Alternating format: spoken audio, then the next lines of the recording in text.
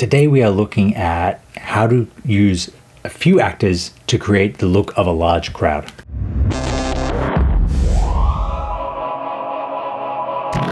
When you're shooting live action, extras and background is very expensive. Think about paying everyone at least minimum wage for one day, and it's at least $100 per person for a 10 hour day. So, a crowd of 50 extras is going to cost you at least $5,000, probably twice that when you factor in all the fringes and uh, payroll costs. So, if you have a scene that takes place at a football stadium, you could be spending hundreds of thousands of dollars on people.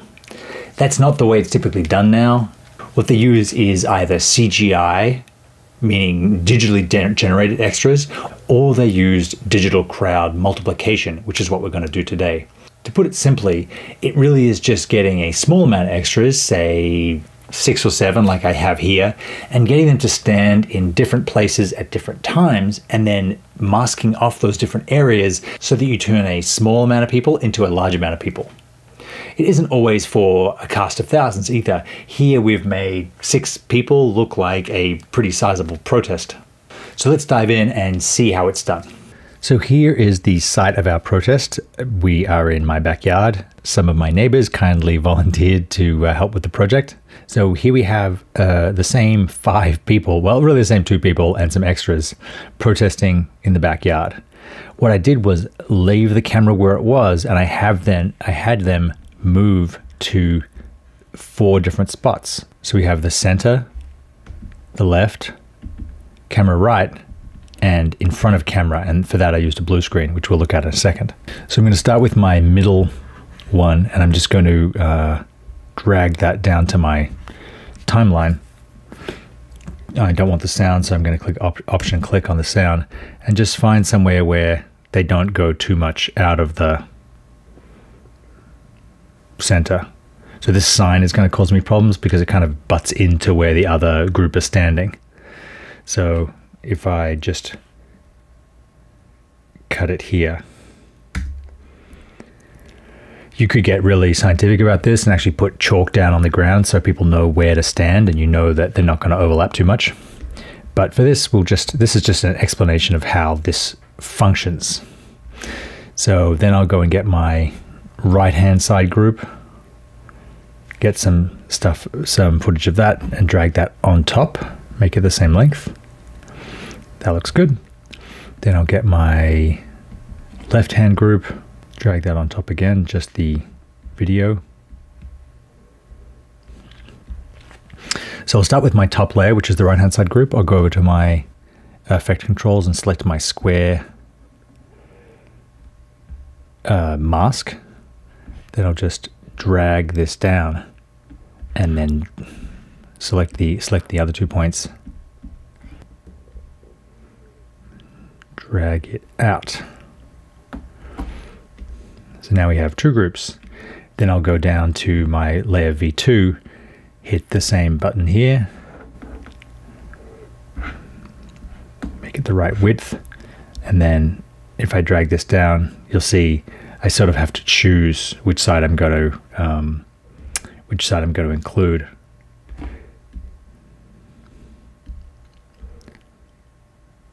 You can see how if I had moved the camera in between shots, I'd be getting all kinds of problems.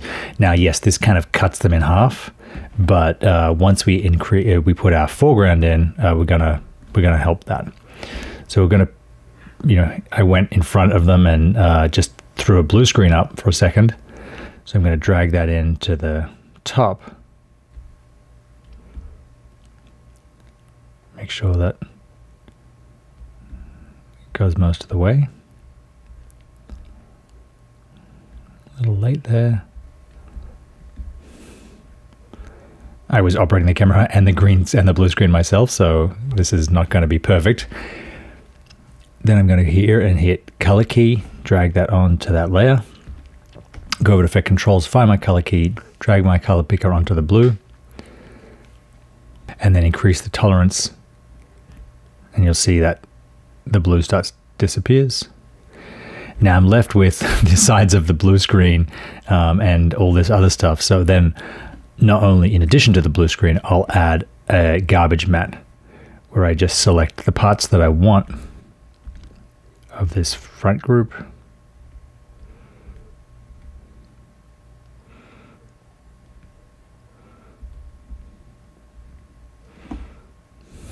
If I click off the mask, you see it's actually not that bad.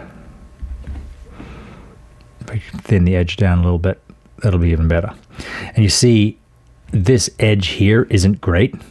Um, it's a little bit ugly, but by putting my foreground in the way, I've sort of hidden the space between the edges.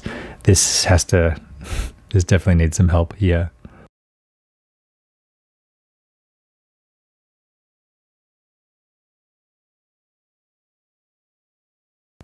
And having done quite a few of these over um, the last few years, you'd be surprised what you can get away with. You know, people aren't um, aren't scrutinizing this, especially if it's in the foreground or the background, and maybe you have a speaker up here. I'll click off my mask and play through that. I'm having trouble here now. It's feathering through the um, through the bottom of the mask. So I'll drag that out of the frame. So I may have to, let's turn that front one off for a second. That's not the one. This is the one here that probably needs a different type of mask. So we'll get rid of the first mask and we'll basically just go sort of do what we did before and rotoscope something in around this sign.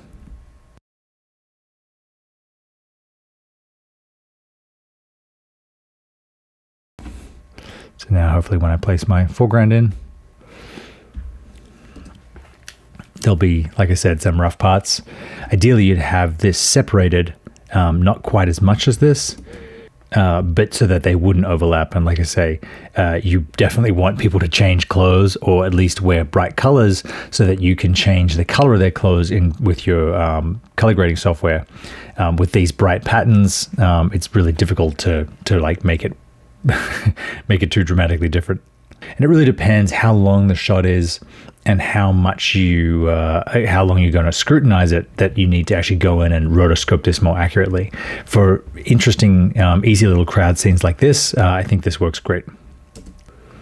If you're seeing the front of crowds and the signs, you definitely want to have variations of the signs and even have people just exchange clothes.